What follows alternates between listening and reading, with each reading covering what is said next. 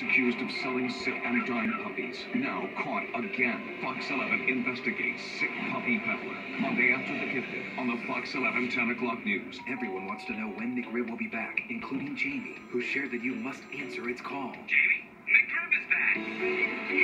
You posted, and we answered. Enjoy what you love twice. Get two McRib sandwiches for just five bucks.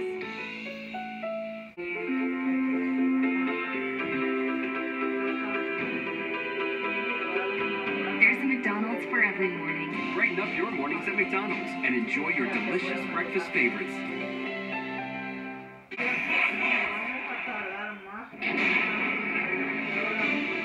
Fox Sports to the following presentation of the National Football League.